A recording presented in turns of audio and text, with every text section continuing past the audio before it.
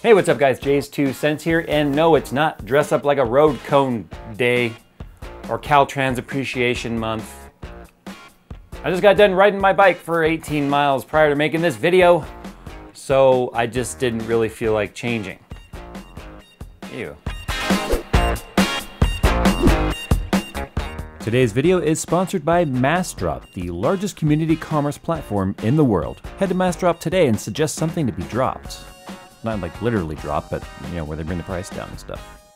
But I also just got back from Portland at the famous PDX LAN. And yeah, guys, I know there's bigger LANs in Europe.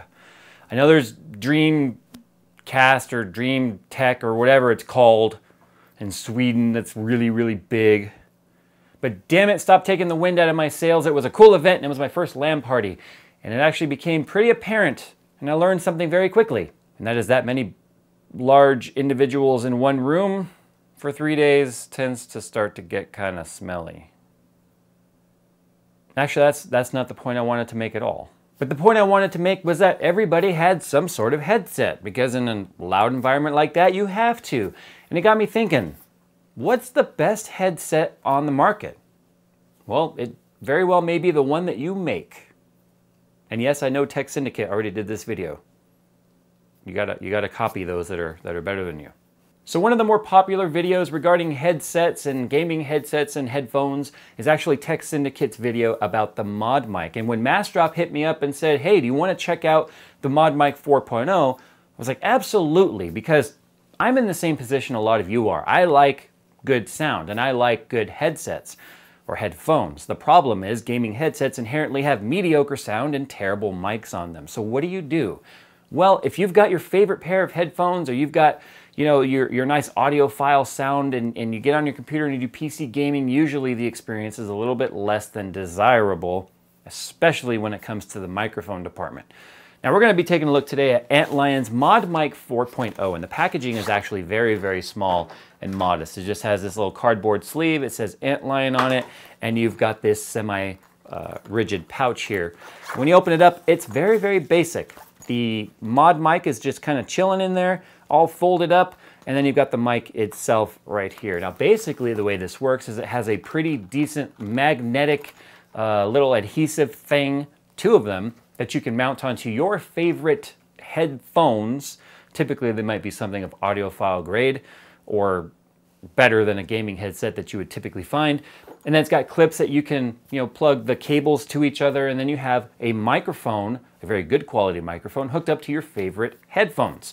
So there's really not a whole lot to say about it other than let's go ahead and get it installed. Um, because it comes with two adapters, I'm actually going to be putting them on my two favorite headphones. Those being my uh, AKG K7XXs right here and we're also going to be putting them on my Audio-Technica ATH M50Xs. Both of these have very different sound signatures. Both of these have very different, these are closed back, these are open back. And we're going to go ahead and make basically two gaming headsets out of one Antmic mod, or Antlion Mod Mic 4.0. So let's go ahead and get these things installed. So as I mentioned inside the package, it's pretty basic. You've got the mod mic itself right here. It's got a nice little windscreen on there to help uh, Basically, it's like a built-in pop filter. Nice long cord, and then, see here's a nice long cord. Not braided or anything, it's just rubberized. You've got your standard uh, three and a half millimeter jack right there. And then inside this little Ziploc baggie, which is kind of shoved in there. Admittedly, I've already had this thing out of here, but whatever. It's okay. Otherwise, I'd look like a real fool on camera, more so than I already do. But inside here, you've got a few things going on. You have got two of the magnetic adapter bobbers that you attach to your headphones. And then you have got one, two, three, four, five of these clips that are designed to clip the cord for the mic. Get it, get it on, on screen there, Jay. You're starting to act a lot like, like a Barnacules video here. All right, so you want to we got five of these clips that you can use to connect the mod mic cord to the headphone jack or cord. That way you don't have it flopping all around there. As you can see here, the adapter is just a magnet on one side with the teeth in there so that you can rotate the mic around up and away or down in front of you. And then it's just an adhesive on one side. Now they do say that the adhesive will work on metals, mesh, plastics, wood, but it will not stick to rubberized surfaces. So you want to keep that in mind. Okay, so I've already taken the adhesive back off of the little adapter there, and we're going to go ahead and magnetically stick that onto the mod mic itself.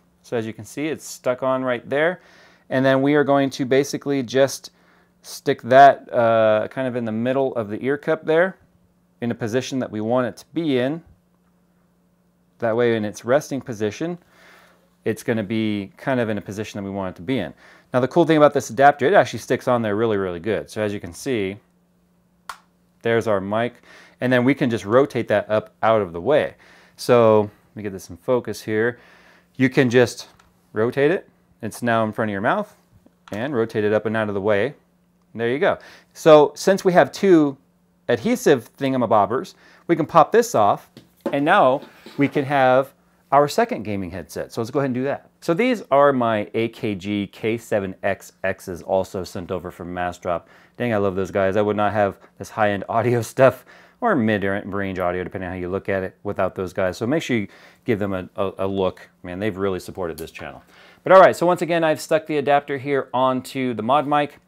And what we're gonna do now is we're gonna go ahead and test what they say about using it with mesh. They say it works with meshed headphones. So I've gone ahead and stuck it on there.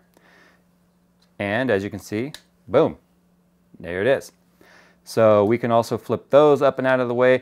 Those don't flip up and out of the way as well. They don't go straight up because as you can see, the headphones here, they, those stick out. But I can put it up behind me and it's a mod, it's a, you know, it's a, it's a flexible mic. So we could do that.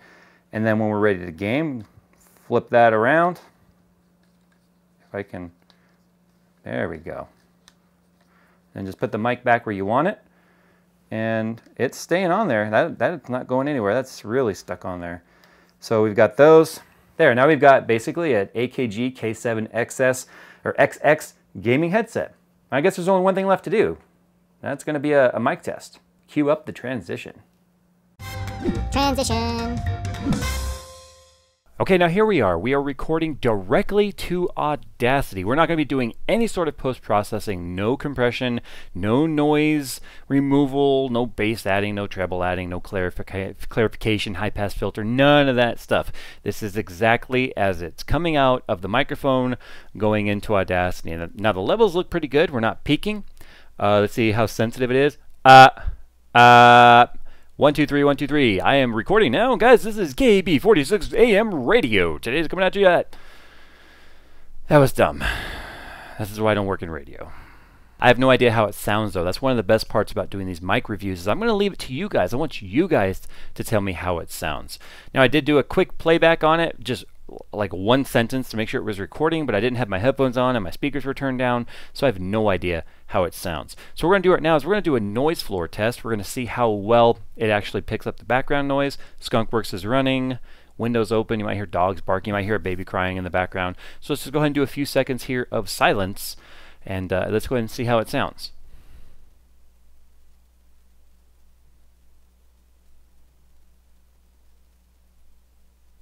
All right, now let's go ahead and do some handling. See how it sounds when you handle it.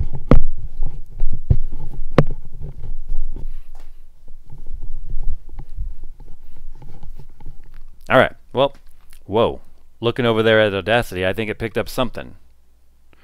Well, there you go, guys. Mod Mic 4.0. Make sure you guys head on over to Massdrop. Give them a huge thank you for sponsoring today's video by sending this thing on over.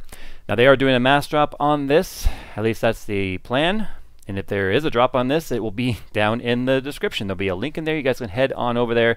I get no kickback from the drops. All I did was send it over. It gives me content for the channel, gives you guys something to get a little bit cheaper through Massdrop, which is kind of a neat service where they will broker cheaper prices if enough people sign up to want to buy something. They go to the manufacturer, manufacturer says, yeah, you get 10 people that want to buy this, we'll knock five bucks off or something like that. So it's a good service. I don't know how anyone could go wrong with that. It's completely free to sign up and really Uh, Jerry uses it. I use it. Lots of people use Massdrop. There you go, guys. Mod Mic 4.0. What would you do with it? How do you think it sounds? Sound off in the comments. And yeah, guys, I know that like standalone mics like the Yeti or the Audio Technica AT2020, they're going to sound better, but look at what those are versus what this is. And let's keep the comparisons relevant. All right. I'll see you in the next one. At least that's the idea. I won't see you. You'll see me, I won't see you. If I see you, then that's really weird. Especially if it's in the video.